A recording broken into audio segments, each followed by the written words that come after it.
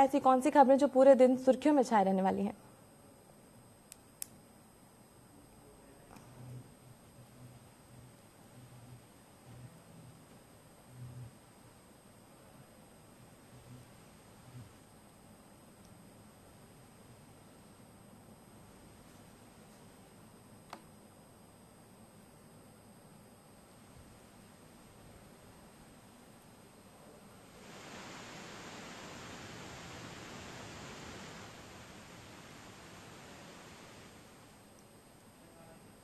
जी Satish.